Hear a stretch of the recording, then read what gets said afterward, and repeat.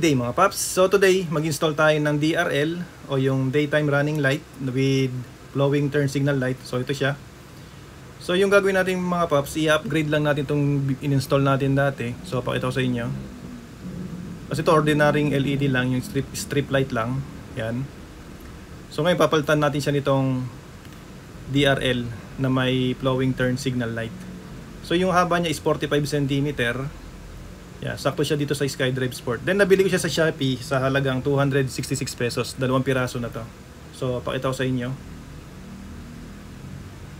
So yan. Ito yung tsura niya mga paps. Sa kotse mag-install din tayo nito. So unahin muna natin dito sa motor. So ito siya. Kung mapansin nyo, sakto yung haba lang niya dito sa ano sa SkyDrive Sport sa may gilid. Yan. So sakto lang siya. Okay? So ito yung mga gagamitin nating tools. Okay, yung 12mm, pantanggal tong grab bar, Phillips screw, LED lights, then tong zip tie, T-top connector, uh, wire stripper. Then kung wala kayo nito, wire stripper tsaka T-top connector, pwede nyong i-direct gamit tong cutter tsaka tong ano ng electrical tape. Then test light para malaman natin kung saan wire natin ikakabit tong LED. So unang gagawin natin, tanggalin natin tong cover. Yan, kabilaan na yan. Tatanggalin natin yan para mailagay natin tong LED lights. So singit ko lang mga paps para doon sa nagtatanong paano magtanggal ng ganitong klaseng lock. So para matanggal to kailangan nyo lang ng Phillips screw. So tusukin nyo lang yung gitna.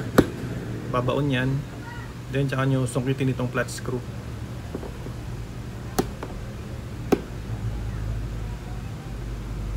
So, yan, angat na siya. So, pwede nyo yung hilahin yan. Okay, so yan, kailan lang pagtanggal.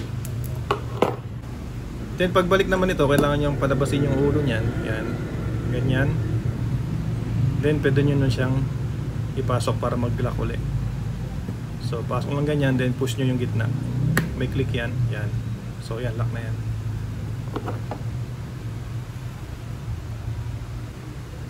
So yung mga paps, uh, inikot ko lang yung motor kasi yung wiring ng SkyDrive Sport nandito lahat sa may bandang kanan. So para madali tayong mapag-wiring. So ito mga paps, natanggal ko na yung side cover. So para mailagay natin to kailangan natanggalin tong kulay pink na to. Yung plastic cover na yan. So para matanggal yan, kailangan natin tanggalin tong tatlong tornilyo. Tong isa, dalawa, sa ito pangatlo. So once natanggal nyo na yung tornilyo, pwede nyo naman paghiwalayin yan. Okay. So tabi muna natin to. Then ito na yung paglalagyan natin ng LED. Yan, itong pinaglagyan ko dati.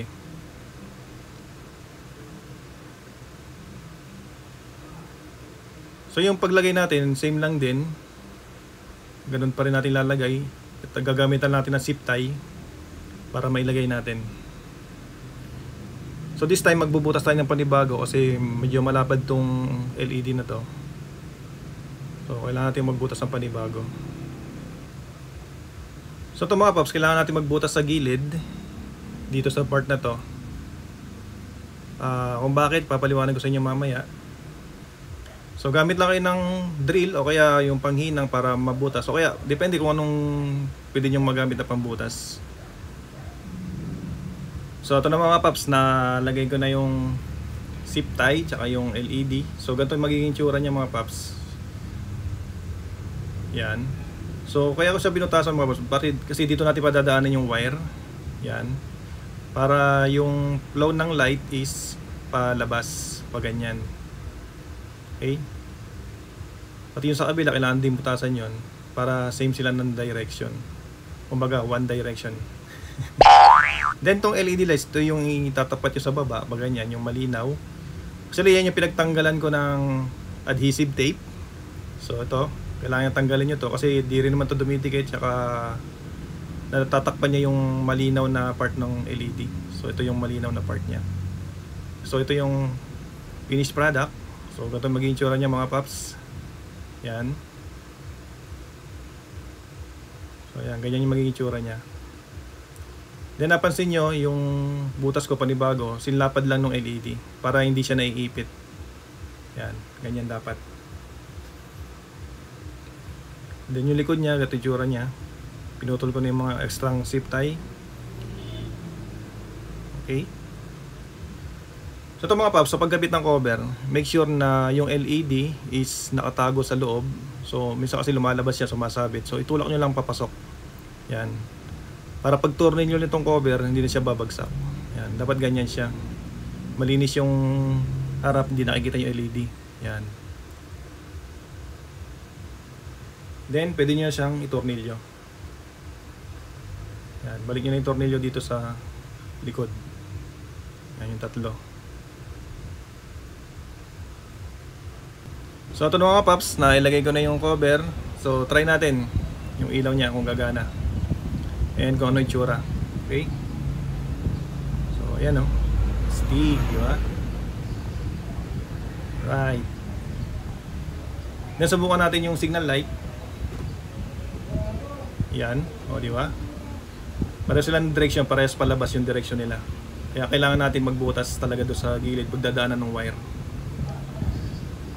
Alright so okay na tayo dito mga paps. So dako naman tayo sa ano sa wiring, kung paano pag-wiring. Yun naman tuturo ko susunod. Right, okay. So, ito na mga paps. Mag-wire na tayo.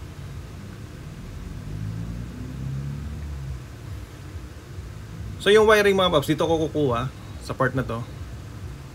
Ito yung naka, ito, paduktong niya itong papunta sa signal light at sa park light. So, dito ko kasi halos lahat ng kailangan nating wire is nandito na. So, ito huwag niya pansinin to. Ito yung wire ng GPS o yung anti-theft device na in-install ko nung nakaraan. So, lagay ko siya sa loob. So, dito lang tayo kukuha sa loob ng host na to. Yung pinaglalagyan ng wire. Okay, so mga paps, ang kukunin lang natin dito, yung hahanapin nating wire, yung accessories wire. So, pero bago yan, kailangan tanggalin muna natin to para mas madali yung pagwa-wire natin, pagwa-wiring. Then, itong zip tie, tanggalin nyo rin yan Pwede naman niya ibalik mamaya. Tanggalin mo muna to.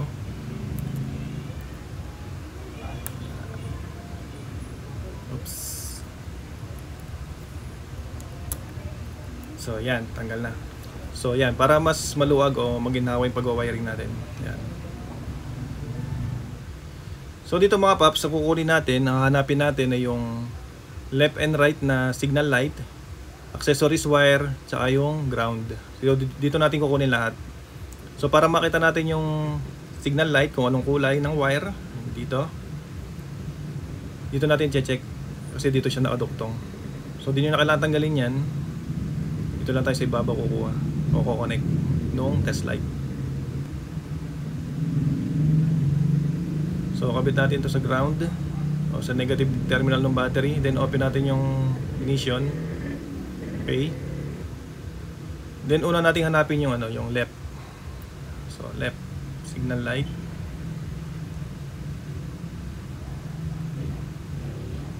So gamitin natin tong test light. Alamin natin kung anong wire, anong kulay ng wire yung left signal light. So pag umilaw siya, ibig sabihin yun na yun. So ito, nag-flash siya. Okay, so yung kulay ng left turn signal light is kulay yan, kulay black. Pure black siya. Then hanapin naman natin yung sa kanan. Yan.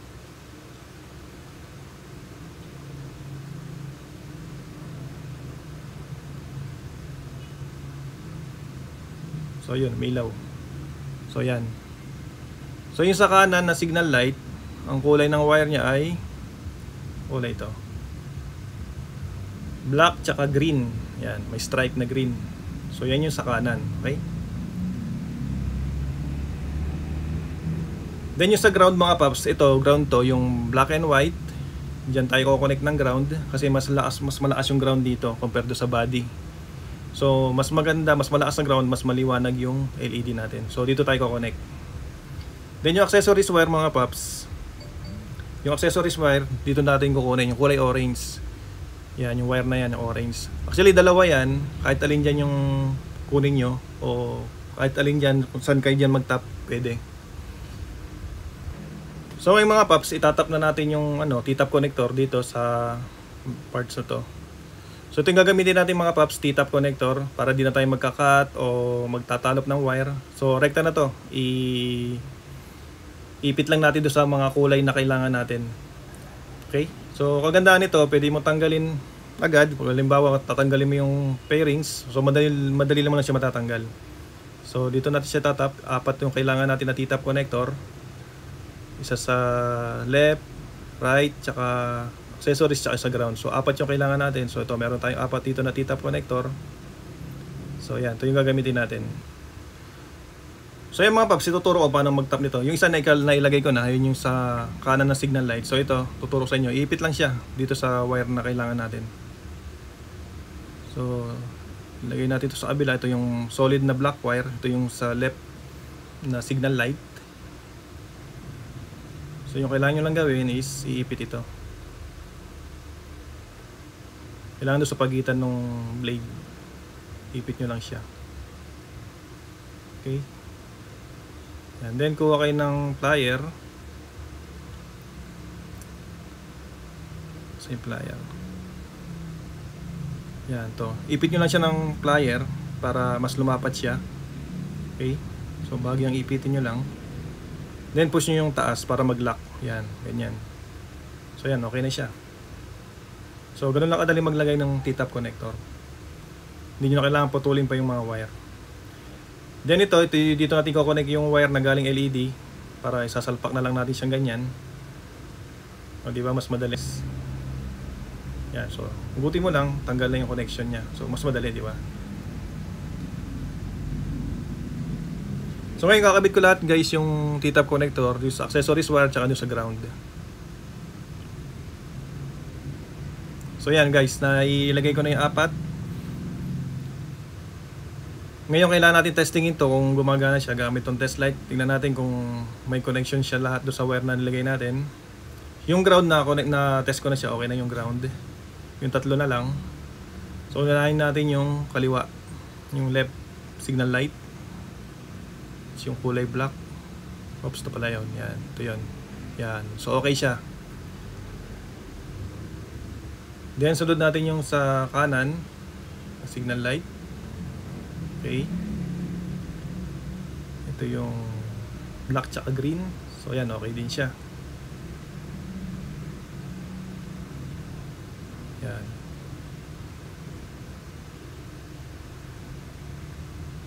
Then yung accessories wire. So naka-on yung motor natin, dapat umilaw siya. So to. So yan, okay siya. Okay lahat ng connection natin. To, na-test ko na to, okay siya, yung ground. Na-test ko na kanina yan. So okay naman siya. Then next, pwede nyo ikabit yung kaliwang cover para mailagay na natin yung mga wire niya, maitap na natin. So dito nga pala guys, nagduktong ako ng wire kasi di abot. So kahit mga isang dangkal, magduktong kayo ng wire. Then nga pala guys, tong wire na to, sa, sa ibabaw nyo padaanin. Yan. Kasi pag sa ilalim, mainit yung makina, so posibleng matunaw yung wire nyo, So dito siya sa ibabaw dapat para di mainit. Okay? So ngayon simulan natin yung wiring. Paano natin tatapian dito sa mga nilagay nating T-tap connector. Okay?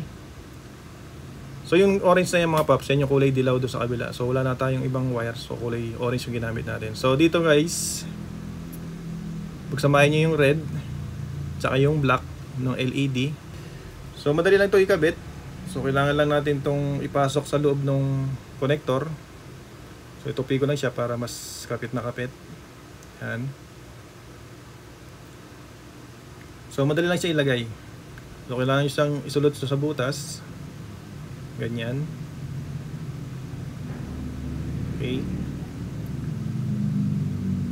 Then kailangan nyo siyang ipitin nitong plier. So make sure lang na nasa gitna yung wire. Yan, sa part na yan. Hindi siya sosobra. Kasi mamaya yung kulay dilaw na plastic yung maipit natin. So hindi siya o hindi maglulos siya yung connection niya. So ipitin nyo lang. So yung plier ko bungi yan kaya okay lang ipitin yan. hindi siya mapuputol. So yan. So test nyo, yan okay. Then ganun din sa lahat, kailangan nating ilagay itong connector. So itong, itong black, masama yung ano. Ah, ito pala, ito. Ito yung sa kaliwang signal light. So ganun din. So ikot, ikot muna natin. So ganun lang din paglagay. Suot nyo sa butas, ito yung sa kaliwa. Okay. Yan. Sakto dapat. Yan. Ganyan. Then, tsaka nyo ipitin ng plier. Yan.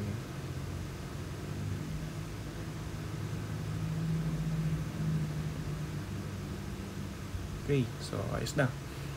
So, yung dalawa, ganun din ang gagawin nyo. Kailangan lang din siyang ipasok do sa butas, tsaka ipitin. Yan, ganyan. So, okay to. Okay na to.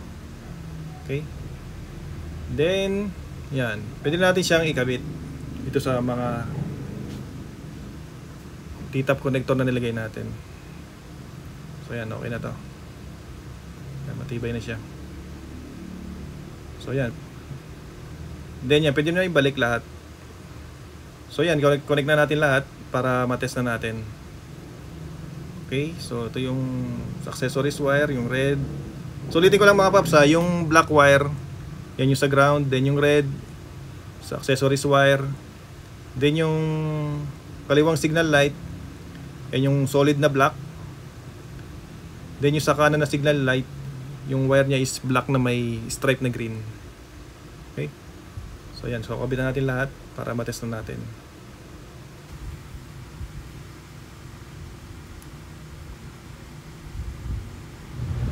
So yung mga paps, bago natin ilagay yung cover, ayusin muna natin itong wiring para di siya nakakalat. Okay, so bago natin balik yan, iayusin mo itong wiring. So yung mga paps, naayos ko na yung wiring. So kailangan maayos lahat, simula rito. Kailangan natin zip tie ito. Nilagyan ko ng zip tie para di siya nahihila. Then itong mga wire, pinagsama-sama ko sila para di siya nakakalat. Then itong wire papunta dito sa kanan na signal light o do sa kanan na cover. Nilagyan ko din siya ng zip tie para di siya nahihila. Okay? And then pwede na natin balik tong side cover. Okay? So shoutout nga pala kay Julio Junior Aguilar. Siya yung nagsuggest na gumawa tayo ng ganitong video. Yan. Shoutout sa iyo paps. Stay safe and ride safe always. So ngayon testingin natin mga paps. Antayin lang natin magdilim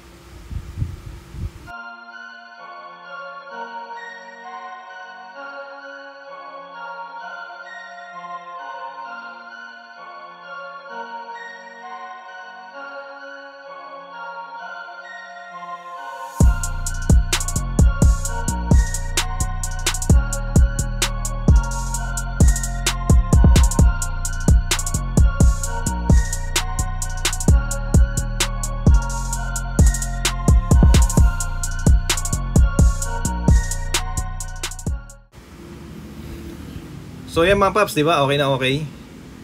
Kahit malayo, kitang-kita na nagsisignal ka. Di ba? Ayos. So parang siya nagbabago. oh. Alright. So yan yung flowing turn signal light. Then try din natin yung ano, yung sa date, so yung ano niya, daytime running light. So try natin. So ayos dito, ganda di ba? Kitang kita oh. So try natin yung hazard niya mga paps. So ayan.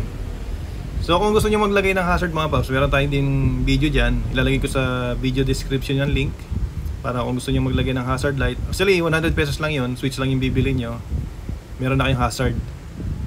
So di nyo na lang kailangan magpalit ng flasher relay kasi kayang-kaya niya pa ilawin using yung stock na flasher relay ng SkyDrive Sport.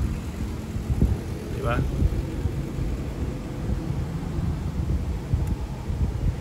So try natin yung DRL, yan. Kulay puti. So yan yung daytime running light niya. Ayos, di ba? So, kung sa tingin nyo mga paps nakatulong tong video na to, may natutunan kayo, don't forget to hit the like button and kung di ka pa nakasubscribe yan, subscribe ka sa ating channel kasi marami pa tayong mga videos na i-upload na kagaya nito, mga tutorial videos. At syempre, hit nyo rin yung notification bell para ma-notify kayo para once na may bago tayong upload, may notification kayo marireceive. So hanggang dito lang mga paps. See you on the next video. Stay safe, ride safe always, and thanks for watching.